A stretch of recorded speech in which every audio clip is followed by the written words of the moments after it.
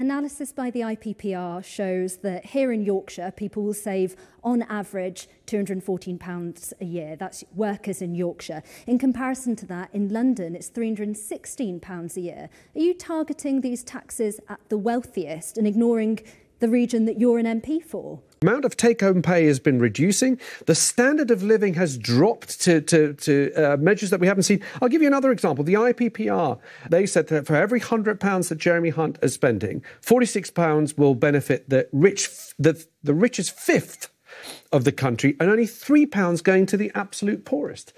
That's, that's a factual. Well, well, but research by the IPPR think tank shows around half of the cash benefit of this would in fact go to the top fifth of households by income, shown in red, and just 25% to the bottom three fifths, shown in dark blue, green, and yellow. However, the progressive think tank, the IPPR, says much of the benefit will go to the wealthiest taxpayers. And the progressive think tank, the Institute for Public Policy Research, calculates that for every £100 Jeremy Hunt spent on personal tax cuts, £46 will benefit the richest fifth of households, with only £2 going to the worst off families. Uh, let's get some more reaction to what we heard today with Dr. George Dibb, who is head of the Centre for Economic Justice at the think tank, the Institute for Public Policy Research. Well, Pranesh Narayanan, research fellow at the IPPR think tank and a former economist at the Treasury, joins me now. Pranesh, good morning to you.